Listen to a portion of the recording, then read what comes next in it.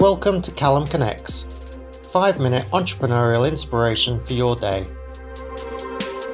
Joining us today on Callum Connects is Yamilette Cano. Yamilette is the founder of Louder Global, an international communications agency. An entertainer at heart, Yamilette has been a public speaker for over 15 years. She is also a communication coach, leadership trainer, mentor, and confidence maker.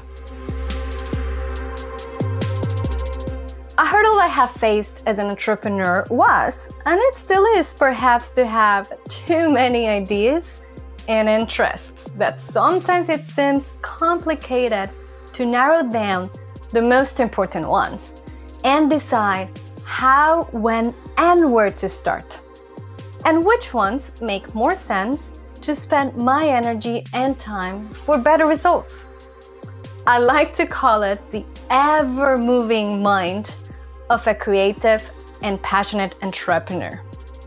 Always full of energy, emotion, and motion. Great assets to have However, if they are not channeled properly, they could certainly become a hurdle. Imagine getting all these wonderful ideas at once and not knowing what to do with them. So, from my experience, I have a couple of things that have helped me to channel and narrow down these ideas and interests. First of all, when I started my journey, I looked up for a mentor and a career coach. They both helped me deeply in different ways. For example, the career coach, she gave me so many different exercises where I was able to really narrow down which of the things that I liked were hobbies and which ones had potential for a business opportunity. The mentor, she has helped me to talk about and discuss all of the elements that I have from my past experience that I can put forward and create unique value proposition for my clients and different audiences. Putting together my experience from the events industry as a ballerina, a public speaker, and creating something unique and that makes sense and resonates with me and hopefully with people that are seeing, listening, and having the experience with Louder. Secondly, I have learned how to balance and embrace both the power of yes and no. Saying yes to everything all the time, it might not be the best idea.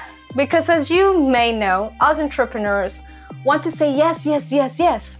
And we are running like headless chickens because we feel that that's the way to be successful and to help our businesses move forward.